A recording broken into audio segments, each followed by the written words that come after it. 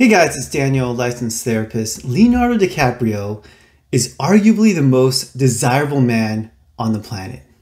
And if this doesn't convince you,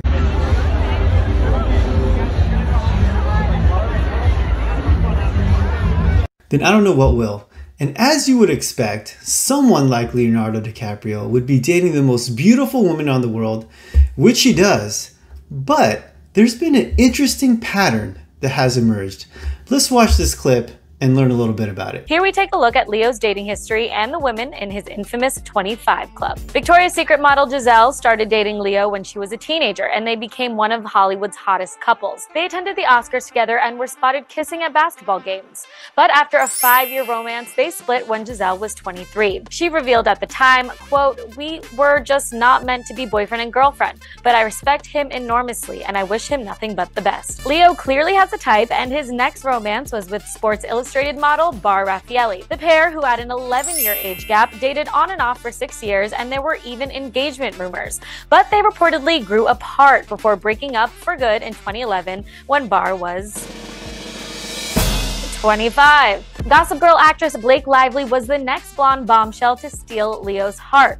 They met during the Cannes Film Festival and enjoyed romantic dates in Venice, Los Angeles, and New York. The couple, who had a 12 year age gap, dated for a year before Leo's work commitments led to their split. Blake was 23 at the time and they remained good friends. Gisele wasn't the only Victoria's Secret model Leo wooed. He also dated Erin Heatherton when she was 22. But the romance only lasted 10 months due to their crazy schedules, with a source saying there was no bad blood blood and it was just time to move on. And just when you thought Leo had run out of Victoria's Secret models to date, along came Toni Garrn. She started dating Leo when she was 20 and he was 38. But Tony was notably absent from Leo's 40th birthday bash.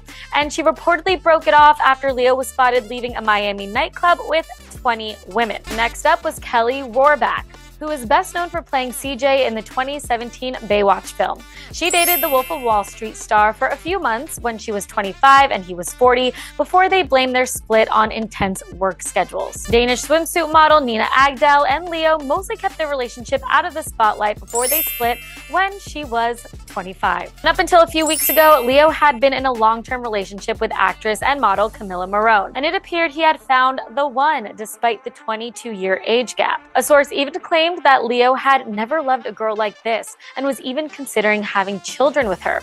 But this week it emerged the pair had split after five years together, and in what may be an eerie coincidence, just weeks after her 25th birthday in June. So, yeah, the whole 25 year rule for Leonardo DiCaprio. What's that all about? Well, I've been able to come up with four explanations. You can be the judge of what you think is true. All of this is just speculation and guesswork because we don't know. Only really Leo knows. But hey, your guy is here to give you a little therapist insight and see if we can't explain what's going on with Leo. So the first of the four explanations is nothing's wrong. Because I know a lot of you guys look at what Leonardo is doing and you guys are saying, that's great. If I was him, I'd do the exact same thing. Sign me up for that. And I would have to say that it's somewhat legitimate. Hey, he has unlimited resources, unlimited fame, unlimited wealth, and unlimited options. And so, so maybe this is just what someone does when they have all of those options. I will say this though the point of a relationship is to build closeness, intimacy, partnership with someone. It's for you to build something that grows over time. And after a long time, you have something that is amazing and that benefits you. And what Leonardo DiCaprio is doing is terminating these relationships. So when I look at this pattern, what I see as a therapist is a bunch of failed relationships. So as a therapist, I look at this pattern and say, there's some not good aspects to it, but I do believe that him being who he is and doing what he does, it just could be the manifestation of his situation. So that's explanation number one. Let's get into explanation number two. Amid the Twitter storm triggered by Leo's breakup with Camila Morrone, one insider from Leo's inner circle decided to break silence on all these speculations and talk to the Post about the alleged reason Leo only dates women under 25.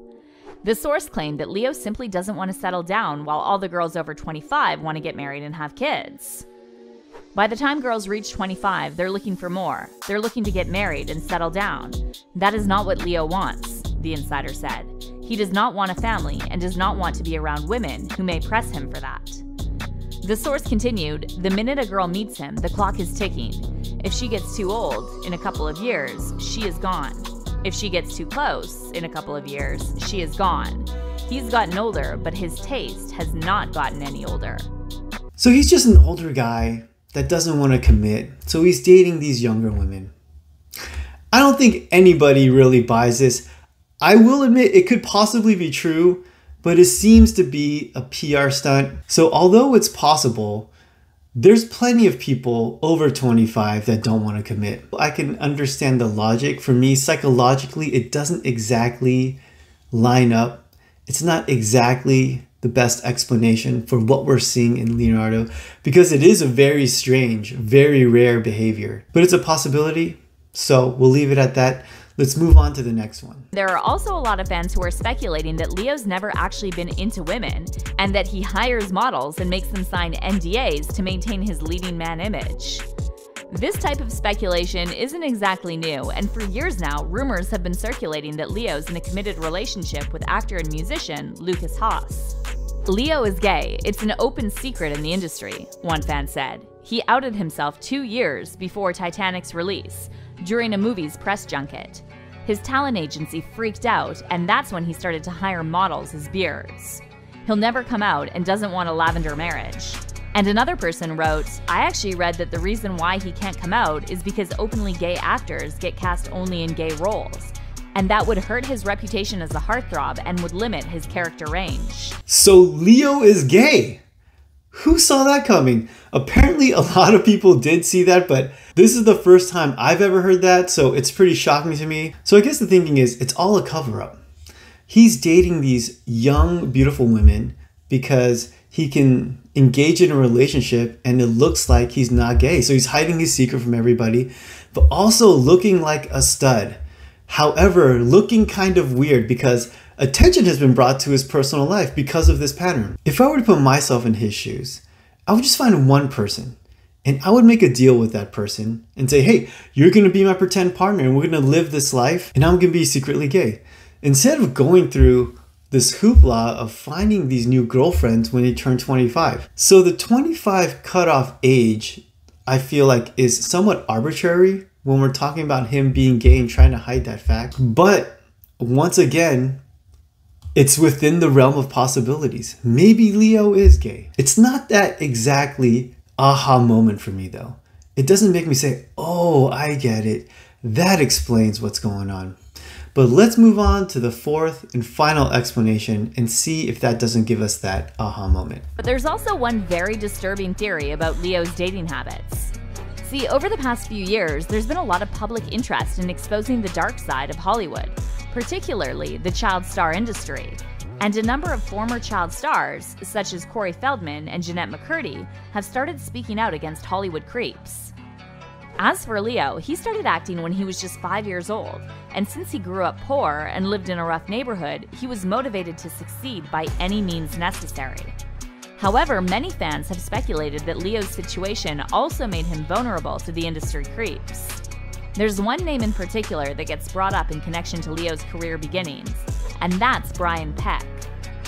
Peck used to work as a producer on Nickelodeon alongside his close buddy Dan Schneider, and in 2004, Peck served a prison sentence after being convicted of a lewd act against a child. The court documents obtained by Daily Mail Online show that the offenses happened at Peck's home where he was coaching his victim, a young actor whose parents reported Peck to the police. Peck was originally charged with 11 charges, but he spent just 16 months in prison. As for Peck's victim, he's only named as John Doe in the court documents to protect his identity. However, there have been some speculation online that John Doe could be Leo, since Leo worked with Peck on the 80s sitcom Growing Pains. Take a look at this weird interaction between young Leo and Peck on set. Brian is the famous artist, and we always make fun of each other and portray each other in silly, satirical ways. Leo's job on this set, for some reason, is to make fun of me all day long. And this is why some fans are now speculating that something traumatic happened to Leo when he was a young actor and left him with serious emotional issues. So, this, for me, sort of is that aha moment. This makes a lot of sense to me. and everything seems to line up for me as a therapist from what I know about people. I gotta say, watching him as a kid interact with this guy, for me, it's just really creepy. I don't like it. I get a very weird feeling. I don't know. Everything is speculation at this point. I have no idea what happened or if that guy did anything to Leonardo, but something just doesn't seem right there when I watch that video. And when it comes to explaining his behavior, his dating life, this does match up. So when people are intimate with each other, especially sexually, they need to feel safe with the other person because they're so vulnerable. They're literally naked and emotionally naked as well. And so, in order to get naked with someone, you need to feel safe with that person. You need to make sure that person is going to not hurt you. And then there are those people that cause you pain, and people will cause you pain. You don't feel safe with them.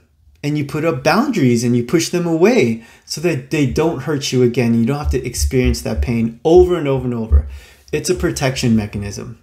The thing is, when you cross those two things, sex and pain, weird stuff starts to happen in your brain. And so this could definitely be an explanation for what Leonardo is doing.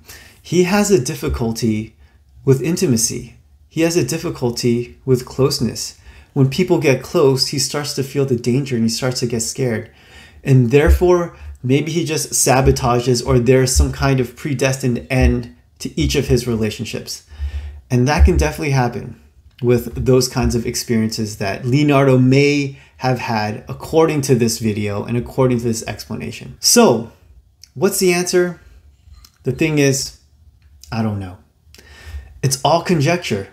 There's not a lot of Leonardo DiCaprio's walking around with his experience. So it's not like we're able to really study or understand him. It's just a single person, and we would really need to just sit down and talk to him to really find out. And we really need to know his history to really find out because he's a very unique person with a very unique psyche. And so these very unique behaviors could just be the result of his very unique circumstances. But if I were a betting man and if I had a gun pointed to my head, what would I say is the explanation? I would say it is explanation number four.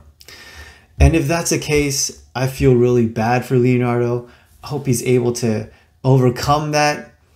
If it's number one, then God bless you, Leonardo. Go knock yourself out. Anyways, that's all I have for today. Thanks for watching. I'll see you next time.